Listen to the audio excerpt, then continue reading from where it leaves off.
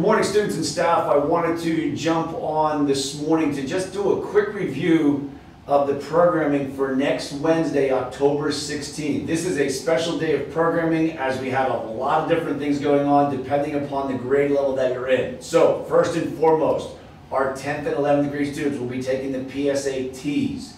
Our 9th grade students will be coming to school to do freshman connections workshops in the morning.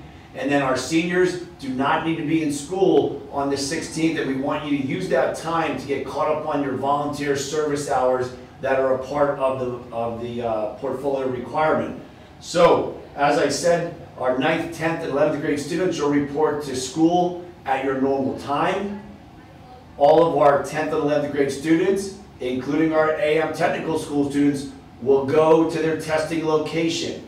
Ninth grade students, you will go to the auditorium, and 12th grade students, you do not need to be here.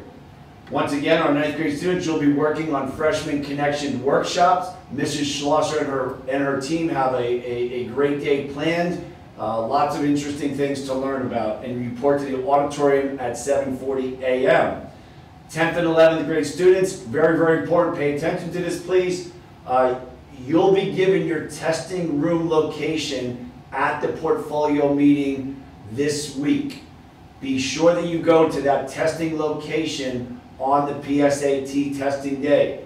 Be sure to bring a fully charged Chromebook.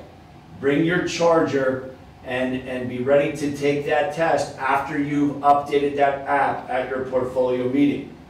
Once again, our seniors, 12th grade, you do not need to be here.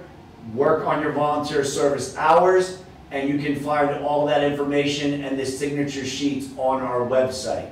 So we look forward to a very successful Wednesday, October 16th with special programming for grades 9 to 12. Have a great day.